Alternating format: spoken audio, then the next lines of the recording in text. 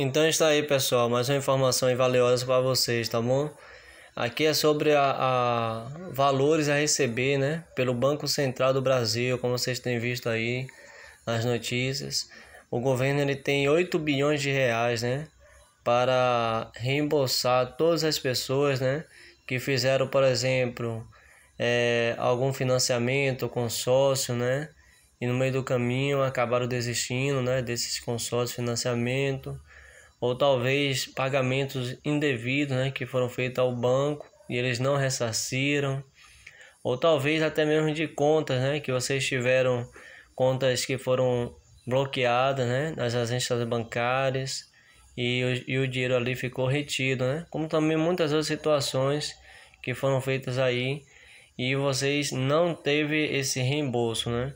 Então por isso que o governo ele abriu aí a partir de amanhã, 14 de 14 de fevereiro de 2022, né, segunda-feira, você poderá ter acesso a essas informações, né? Mas somente aqui, ó, nesse site que vocês estão vendo na frente. Valores a receber.bcb.gov.br. Então, somente nesse site você irá saber, né, se você tem valores a receber do sistema financeiro do Banco Central. Como é que você pode fazer isso? Então, a partir de amanhã, vocês podem verificar essas informações isso vai precisar do seu CPF e do seu RG, né? Então esses dois documentos vão precisar o número, né? E se vocês tiverem, né? É, caso tenha valores a receber no momento da consulta, você só receberá a data para conhecer esses valores e consultará, solicitará sua transferência, né? Para sua conta. Mas isso aí será feito a partir do dia 7 de março de 2022, tá bom? Então atenção, não, essa consulta ela não poderá ser feita no site principal do Banco do Brasil, somente ou do Banco Central do Brasil, mas somente no valores a receber.bcb.gov.br, tá certo? Então, por que eu passei essa informação? Para que vocês não caiam nos golpes, né?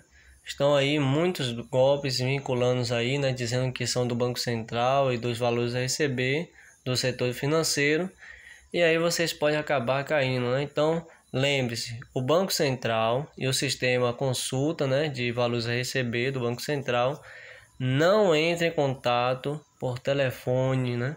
Como também por SMS, WhatsApp ou Telegram. Não entre em nenhum contato desse aí, tá bom? Então tenha isso em mente. Se você receber alguma informação por WhatsApp, por SMS, uma ligação dizendo que é para vocês consultarem, não caia nisso, né? Pois isso é o golpe. O golpe está aí, né? Então, não faça qualquer tipo de pagamento para ter acesso também a valores, né? Já imaginou você ligar, é, o banco ligar para você e dizer que você tem um valor a receber, mas aí você tem que colocar um outro valor por cima para poder receber aquele? Isso aí não tem, não tem conexão, né? Então tá aí, né? O golpe.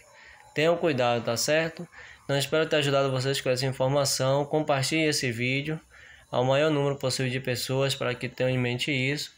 E se vocês verem lá né, no sistema que vocês têm um valor a receber, coloque aqui no comentário, né? O que, que você achou, se foi positivo ou não, né? Só que lembrando que o valor mesmo só será é, creditado a partir do dia 7 de março, né? Então, a partir de amanhã vocês só terão minha informação a partir do dia 14, só informação mesmo se vocês estão aprovados a receber o valor ou não, tá certo? Compartilhe esse vídeo, se inscreva no canal, ative o sininho de notificações, que toda semana tem vídeos novos aqui. Espero ter ajudado vocês. Deixe seu like. Tchau, tchau. Até a próxima.